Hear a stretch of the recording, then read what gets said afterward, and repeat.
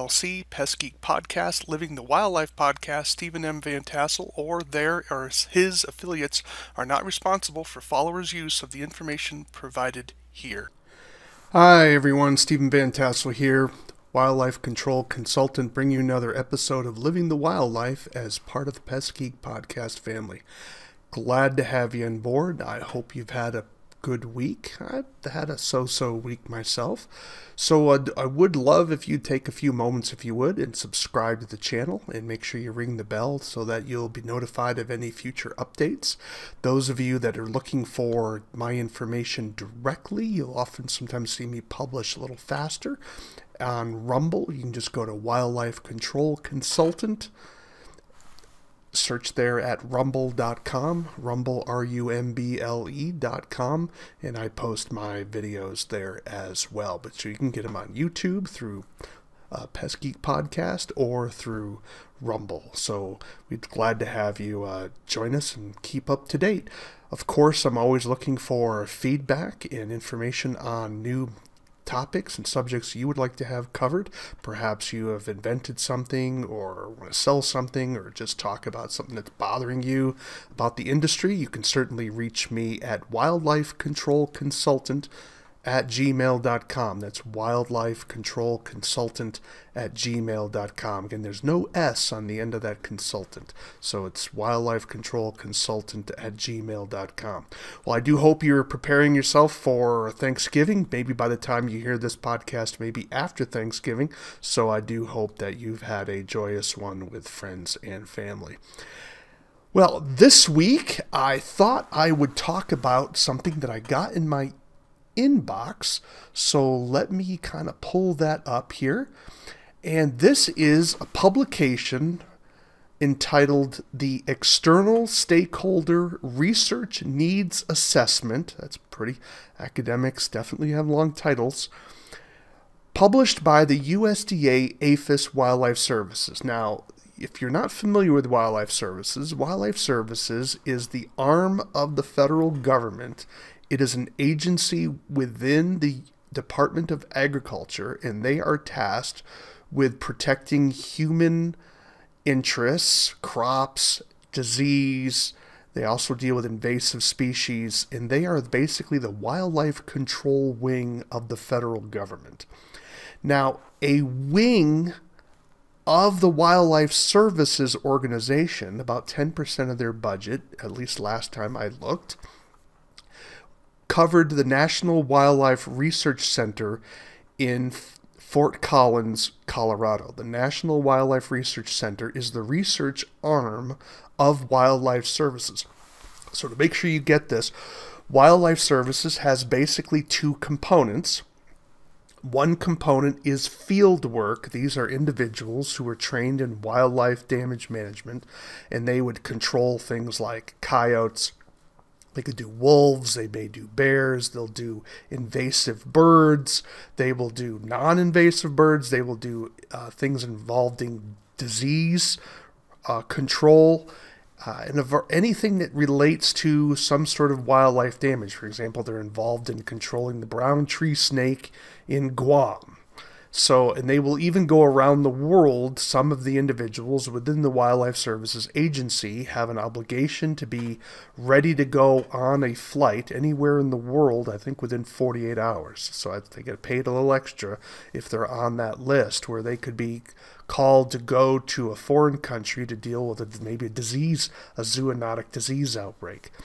They're also involved in disease surveillance as well. So they have some major components. A lot of it's, of course, dealing with agriculture and livestock production, you know, protecting ponds from uh, herons and that sort of thing. Animals are going to come in and eat all eat the person's fish. Deer coming into crops, ravaging crops, and of course birds hitting sunflower fields. And so there's a that's sort of a control and active component within wildlife services.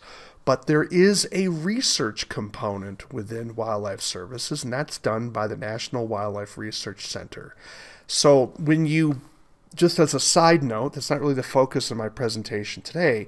So while many or some, I don't have any data on the statistics of it, some wildlife control operators have struggled with wildlife services because they see wildlife services as a financial competitor to their business. Uh, whether that is true or false to the extent that the person experiences, that's not the subject of today's topic, although I'd love to hear your thoughts from it. There have been complaints in the past that wildlife control operators have lost business because wildlife services have been hired or con- consulted or contacted to perform the services. So you can see that there is some tension between the private industry, the wildlife control operator industry, and wildlife services. For those of you in the pest control field, think of it as if your city or municipality or county had a pest control person who was doing cockroach control in various restaurants in the city. How would you feel about that for a government agency to be involved in doing pest control in various businesses under the guise that it's part of the public interest?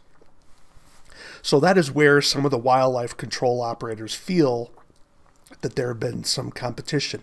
Now, my understanding is is that there's been some mutual uh, memorandums of, of, understandings between wildlife services and the wildlife control industry, and that uh, I have not heard uh, anywhere near the number of reports. In fact, I haven't heard any real conflicts between private industry and wildlife control services in some time, actually. So, if there are others out there uh, who are having some challenges with wildlife service, I would love to hear from you. So, I think that's worthy of a podcast to explain your particular situation. So, I'm just say all that not to go down that rabbit hole of competition between wildlife control operators and wildlife services, my point is, is that there's some animosity there. However, a portion of the budget for wildlife services is done for research. And this is where I think that a lot of wildlife control operators are a little bit too short sighted when they criticize wildlife services, and that is they need to be careful of how broad of a brush that they paint about wildlife services. So whether you're for them or against them, I, do hope that you consider that the research arm of wildlife services uh, is something that I would encourage wildlife control operators to pay more attention to, because if if they're not doing the research, who will? Now, this particular publication that we're going to talk about today, it's again, let me read it again for you. It is the External Stakeholder Research Needs Assessment. So, what National Wildlife Research Center is asking, they did a survey of various stakeholders. Now, what's a stakeholder? A stakeholder is anyone who thinks that they have an interest in wildlife damage management. That's a stakeholder as, as they would probably define it. I don't agree with that definition, but nevertheless, that would be likely the definition that they would use.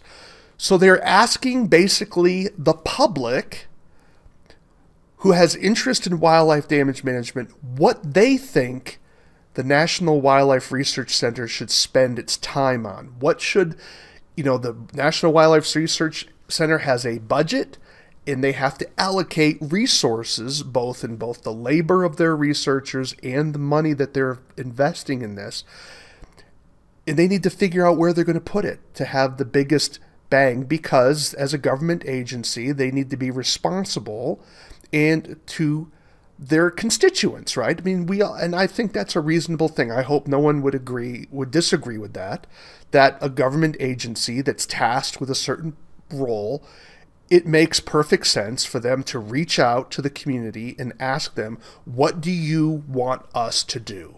And I and if we don't tell them, then that's on us, right? I mean, I think in fairness, I mean, uh, that's a fair question to ask, and that's basically what they asked. And so I thought wildlife control operators would be interested in what their results were because they've published it here in this particular document. So let me give you a little bit more information. I, I tried looking it up online. I wasn't able to find where it's been published online yet, so my suspicion is this is so new that the search engines haven't been able to get it. But I even went on the APHIS website and wasn't able to pull it up, so maybe it just hasn't been indexed yet. But nevertheless, we're going to give you a thumbnail sketch. We're not going to read it word for word, God forbid, that's going to be boring as all get out. But we will cover some of the highlights of the findings of this, and I'm wanting you to just be informed as business people where is your piece of the pie in this? And I'm just throwing that out there, right? You've heard me talk multiple times about the failure of the wildlife control industry to engage government. You know, we have, uh, I would suspect that the majority of your wildlife control associations are spending all of their energy on training, and training is very important. However, I'm arguing that it it can't be done to the exclusion of governmental engagement. And unfortunately, I know I've been kind of a voice screaming against the wind because it's hard for people who are struggling in their business to think about long term issues when they're trying to put food on the table in the next 72 hours. However, I'm my point is if you're not thinking about the future, you may not have to worry about the next 72 hours.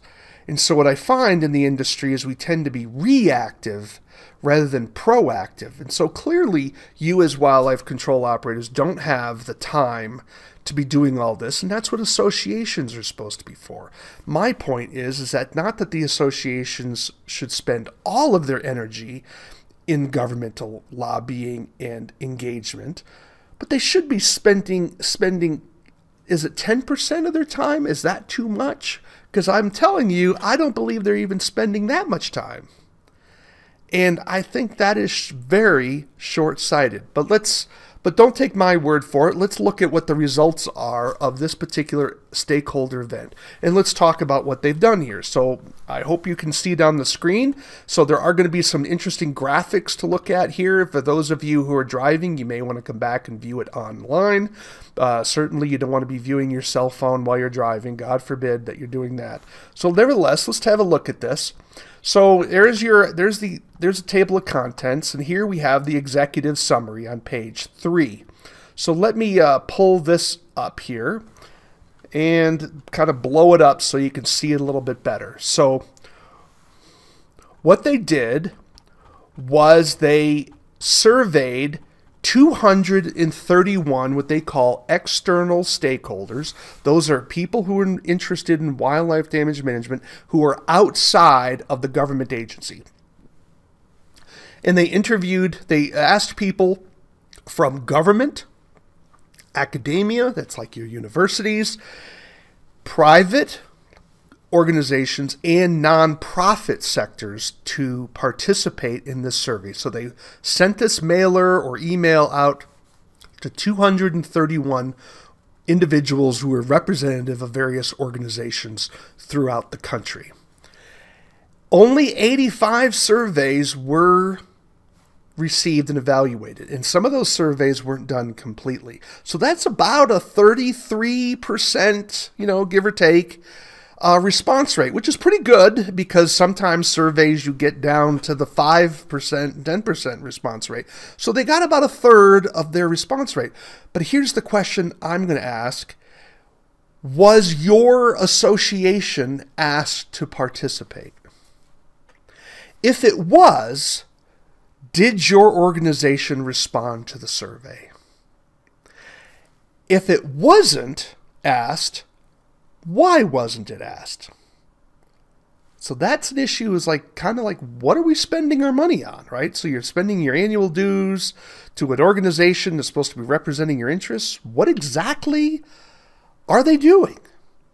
Is it just training or are they doing something else? All right? So I'll leave that to you to be thinking about because we you need to be thinking about where where your money is going in various associations. So, they found that 43% of the respondents to the survey did collaborate with the National Wildlife Research Center. So that means these were individuals who had some sort of research type of relationship with the National Wildlife Research Center. Because understand the National Wildlife Research Research Center has a budget and those dollars only go so far. So, what they always try to look for is universities or associations or nonprofits to work with so that they can magnify the impact of that money so that they may have a researcher who will create a research protocol and then they would work with a nonprofit organization who may be able to put boots on the ground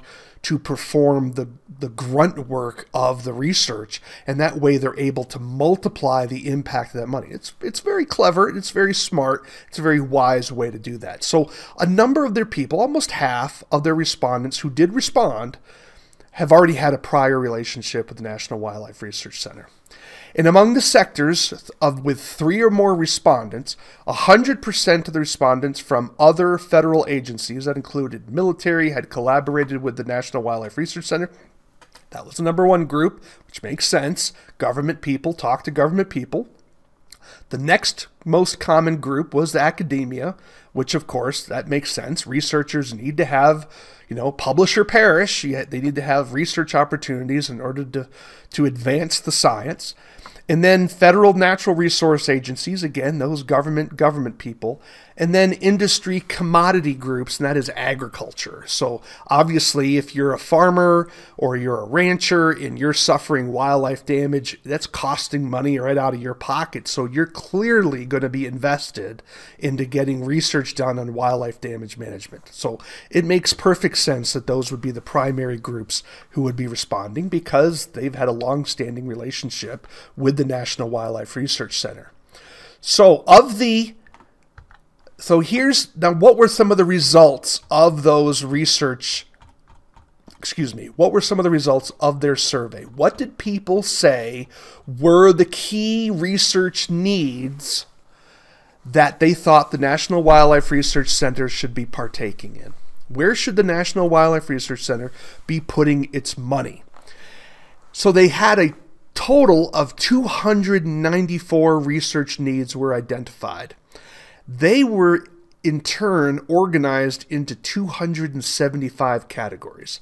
I I mean just that's wow. That's amazing. All right. So that's that's a little overwhelming and I think everyone would agree with that. There's so that's a pretty diverse number of projects, okay?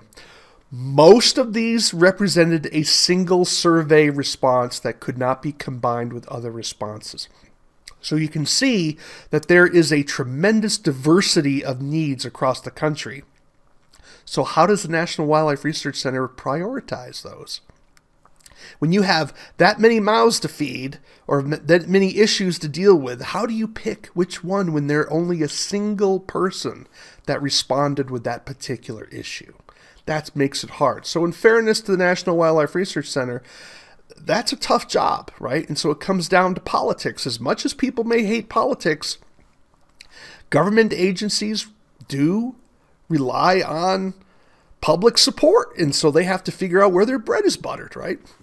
They want to have the biggest impact because they want to survive, right? So it's hard for them to do what I'm going to call orphan projects projects that only involve that impact a few people right? That doesn't mean that the National Wildlife Research Center doesn't think that those issues aren't important. But if you have a decision to make, am I going to spend money on a project that affects 10,000 people, or am I going to spend money on a research product that, attack, that affects five? Well, which one do you think the government should put its money into?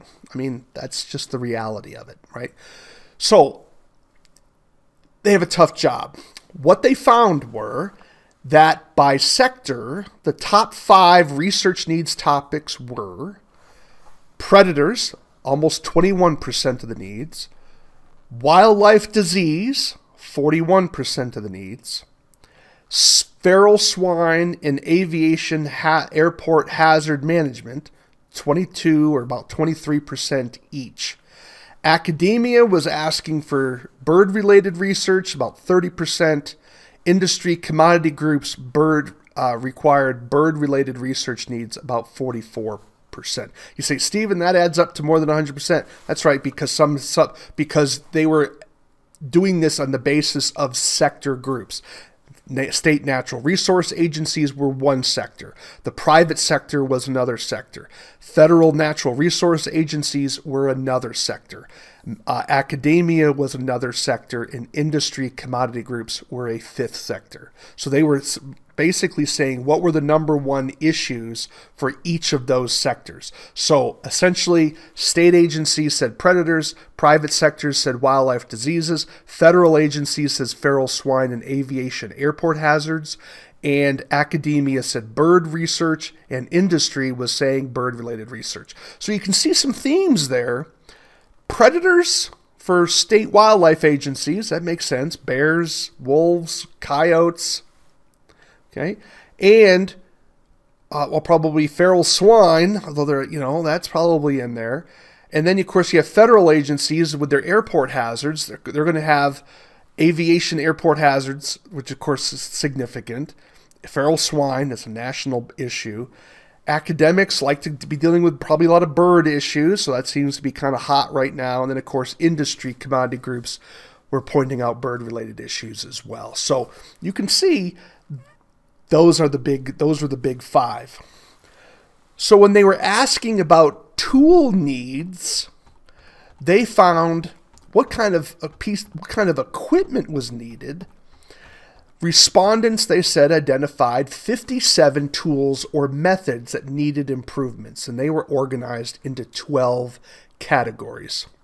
The five categories that were the biggest were predator management tools and methods for research, miscellaneous, wildlife disease vaccines, feral swine control and detection, aviation hazard management, so that's about like that. So let's take a look at elements of the full report here.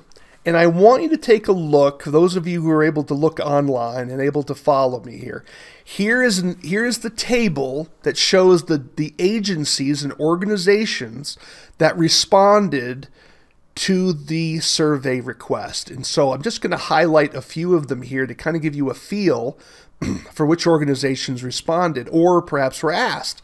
So we have the Florida Fish and Wildlife Commission, Colorado Parks and Wildlife, Cornell University, Kansas Department of Wildlife and Parks, the North Carolina Wildlife Research Resources Commission, a private, I'm sure that's maybe a private individual, Unidentified State Natural Resources Agency, U.S. Fish and Wildlife Service, American Bird Conservancy, American Sheep Industry. Uh, let's see. Canada, Alberta Environment and Parks, Defenders of Wildlife. So you can see that National Wildlife Research Center was reaching out to what I would call a, a quasi animal rights group, although they're not probably officially an animal rights group. Certainly, they would probably be classified as an animal welfare group. Uh, a military organization, Flat Rock Boer Goats, that was located in Oklahoma. That sounds like a producer there. Jefferson County Open Space, Colorado, Maryland Department of Natural Resources, Minnesota Department of Natural Resources, Missouri Department of Conservation, Montana Department of Natural Resources and Conservation. And I'm just kind of looking through here to see if we see any from the wildlife industry. And unfortunately, Fortunately, I'm not, although there are some individuals who are not identified and they're entitled as self employed. So I don't know whether that constitutes someone from a wildlife control industry or not, but I have not seen anything here from the wildlife, the private wildlife control industry, nor from the pest control industry. So I think that's a problem. And I would encourage members to discuss with their either their state association if they're involved with a national organization, certainly speak with them. But I think that why weren't the private wildlife control operators consulted? Maybe some of these individuals that are unidentified were part of that, although one says, you know, unidentified livestock operation owner. Maybe he was part of that two thirds who didn't respond. and that would be a problem. So that may be a question that you may want to ask in regards to that. All right, well, enough of that. Let's kind of go down here. Here's a graph that shows the organizations, uh, a summary of the organizations that they consulted with, and you can see the vast majority of agencies that responded were natural resources agencies related to states. So that's your state wildlife agency. 34 responded to the survey and then it goes then it drops precipitously from there. Federal agencies were next. There were seven from the private sector seven from academia and then you have military and some various industry commodity groups of various of various levels. But that's effectively it. And so there's not really a whole lot uh, there which is a little disappointing so, respondents, by the type of work that they did, they classified who was responding to the survey. The vast majority of individuals were involved in some level of administration or program coordination, which makes sense because they're the individuals who have to organize state agency resources or federal agency resources to respond to various complaints. So they would be kind of feeling the pulse of those types of issues. Uh, let's see. Here's an interesting graph talking about the number of respondents that dealt with wildlife damage or disease issues and how often they dealt with them. So again, of those respondents who came through, what what what what are they encountering on a daily, weekly, or commonly basis? And what they found was 36 respondents dealt with wildlife issues daily, 27 dealt with it weekly, 9 monthly, 5 rarely, 8 every few months. So you can see that over half were dealing with wildlife damage issues on a at least a weekly basis, which is rather remarkable talks about individual organizations that were involved with collaborating or initiating research with the National Wildlife Research Center. And you can see the number of organizations in, by category who were involved with the National Wildlife Research Center because, again, as I said before, the National Wildlife Research Center is looking for partners to collaborate with and share resources so they can do bigger projects or take existing projects and add on and have a multiplier effect so that maybe the project can do a little bit more. Uh, I tried at one point with the National Wildlife Control Operators Association. I had the opportunity to do a research program with the National Wildlife Research Center, but at least, no, it wasn't the National Wildlife Research Center. It was with a researcher out in I believe it was Ohio, who was doing some work with raccoon scat.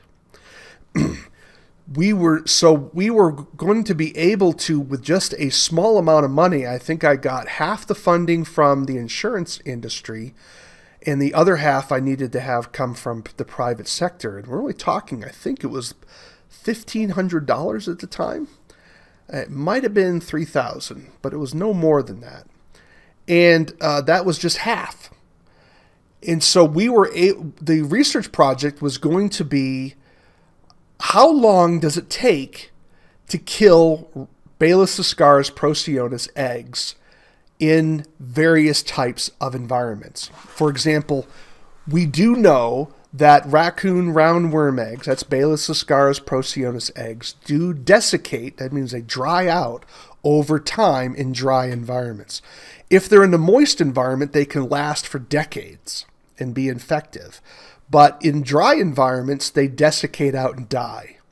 Well, isn't that kind of important when you find raccoon droppings in an attic? But wouldn't it be nice to know when would that when would those droppings be most likely no longer infective? I think that would be interesting information. So what they were going to do was they were going to take these raccoon scats uh, and gather the roundworm eggs, which they already had, and then put them into uh, drying chambers so they could monitor both the temperature and the humidity and then determine at different levels when did those eggs die.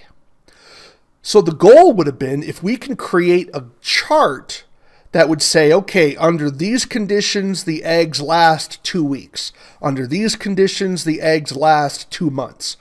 You could theoretically take some humidity and temperature sensors, put those in the attic, and then create where there's a high prob you know get the data and then have a high probability that 99% of those eggs would be dead before you even began doing work. Now there's going to be other bacteria and things up there and you know parasites and what have you maybe in the attic but at least we could find why those we could at least learn when when that particular uh, parasite was dead unfortunately I, I couldn't get funding from the Nas- from the National Wildlife Control Operators Association.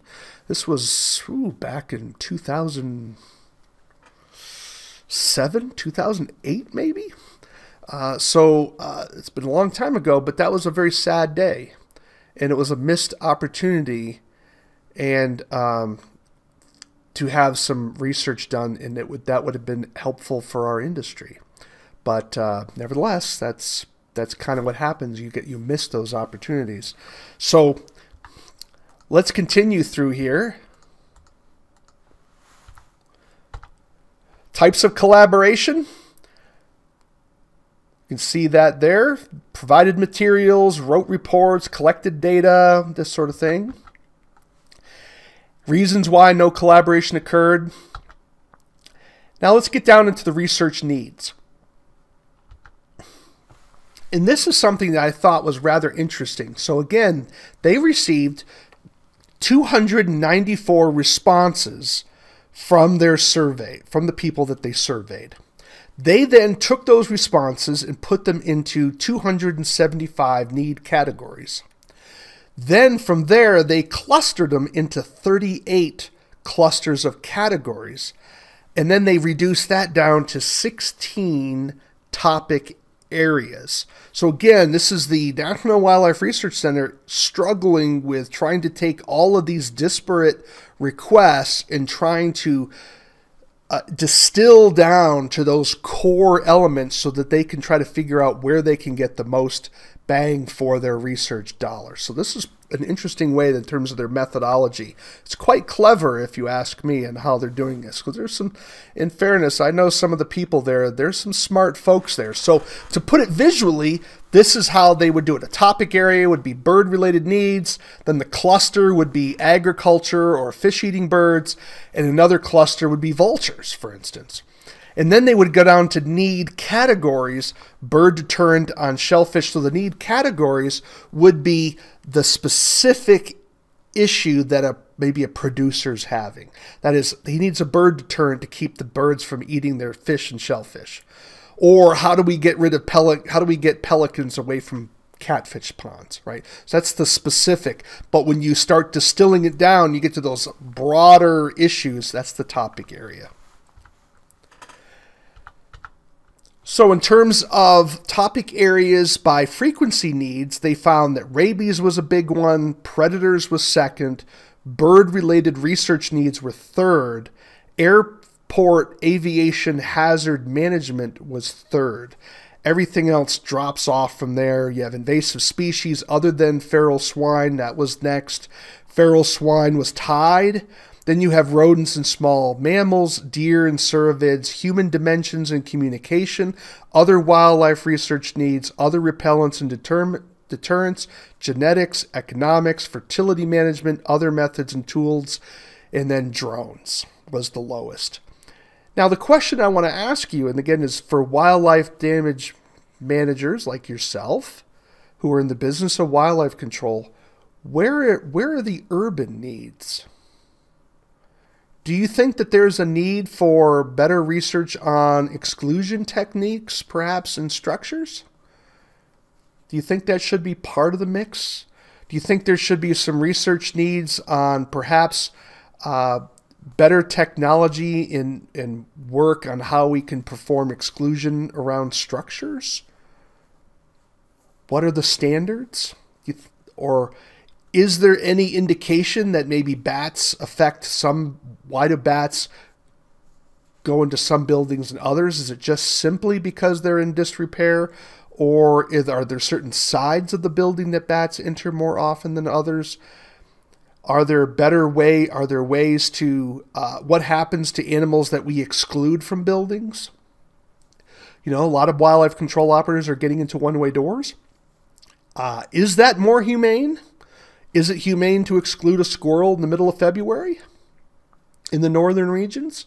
Is that humane? What happens to that squirrel? How about some of the rodenticides that we use or the uh, pesticides we use maybe to kill moles? How effective are those products?